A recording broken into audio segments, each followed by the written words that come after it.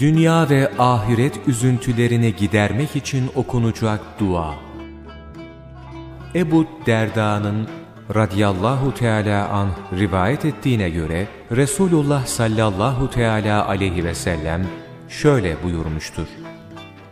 Her kim her gün sabah kalktığında ve akşama erdiğinde yedi defa Hasbiyallahu la ilahe illahu aleyhi tevekkeltu ve huve rabbul arşil azim Allah bana yeter. Ondan başka ilah yoktur. Ben ona tevekkül ettim. Allah büyük arşın Rabbidir derse Allahu Teala onun hem dinine hem de dünyasına yeter.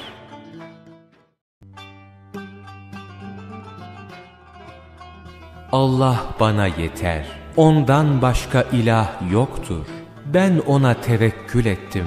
Allah büyük arşın Rabbidir. Allah bana yeter. Ondan başka ilah yoktur. Ben ona tevekkül ettim. Allah büyük arşın Rabbidir. Allah bana yeter. Ondan başka ilah yoktur. Ben ona tevekkül ettim. Allah büyük arşın Rabbidir.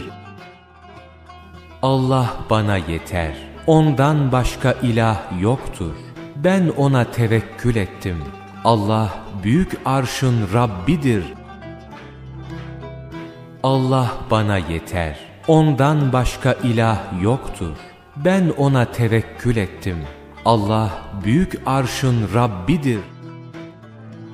Allah bana yeter. Ondan başka ilah yoktur. Ben ona tevekkül ettim. Allah büyük arşın Rabbidir. Allah bana yeter. Ondan başka ilah yoktur. Ben ona tevekkül ettim. Allah büyük arşın Rabbidir.